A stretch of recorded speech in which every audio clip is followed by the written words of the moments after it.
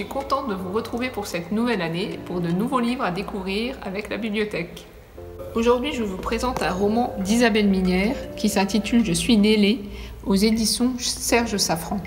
Dans ce roman, on découvre le héros Arthur qui est né muni d'une rare laideur. Ses parents sont très déçus, ils avaient idéalisé leur bébé et malheureusement ce n'est pas celui avaient, dont ils avaient rêvé.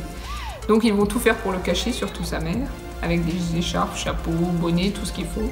Le pauvre euh, grandit malgré tout et il use de beaucoup d'autodérision pour s'en sortir et pour éviter euh, d'être détruit par le regard malveillant euh, des gens qui le dévisagent dans la rue. Donc on suit Arthur et ses pérégrinations et honnêtement, ce livre est vraiment sympathique à lire, car malgré tout, on a quand même un peu envie de rire en lisant les aventures d'Arthur. Je vous invite à venir découvrir ce livre à la bibliothèque de Marly, car vous allez passer un très bon moment de lecture. Et je vous dis à bientôt